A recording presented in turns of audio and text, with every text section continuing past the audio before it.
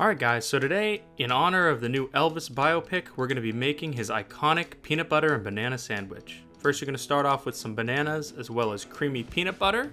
Make sure to evenly spread it over the bread. Then we're going to place on our rounds of banana. You optionally can chop them up, but this is the way that I've always seen it done. The next ingredient is going to be some applewood smoked thick cut bacon. We're going to fry that up in the pan. It's very important to start it in a cold pan so you can get the crispiest bacon. Once it's golden brown, you're ready to remove it from the pan and assemble your sandwich. I threw on five or six pieces of bacon, I'm being pretty generous.